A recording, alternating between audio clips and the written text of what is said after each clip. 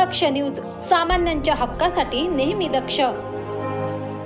धन्यवाद मंडळी. तुम्हाला सांगताना अतिशय आनंद होतोय की रुंगटा ग्रँडिझा या प्रकल्पाची संपूर्ण विक्री झाली आहे.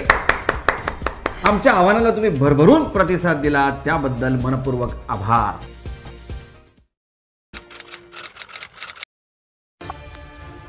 उन्हाची तीव्रता वाढू लागली की विजेची मागणी वाढते.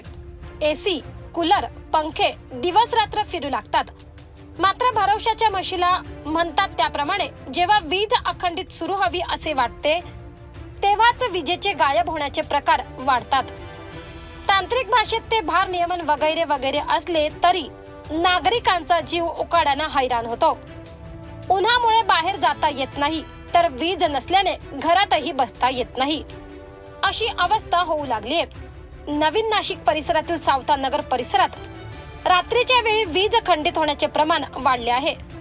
रस्त्यावरही पथदीप पेटलेले नाहीत व घरातही अंधार. त्यामुळे फक्त रस्त्यावर वाहनांचे हेडलाईट चमकत असतात.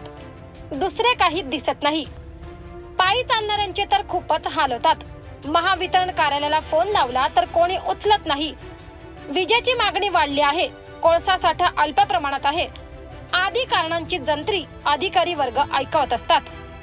तसेच भार नियमन आणखी वाढेल तेव्हा तुमचे सहकार्य हवे असेही सुनावले जाते. अर्थात हे रडगाणे दरवर्षीचेच झाले आहे. राज्यात सरकार कोणत्याही पक्षाचे असो नागरिकांचे हाल कायम राहतात हेच खरे. पंकज सोनार दक्ष न्यूज नाशिक.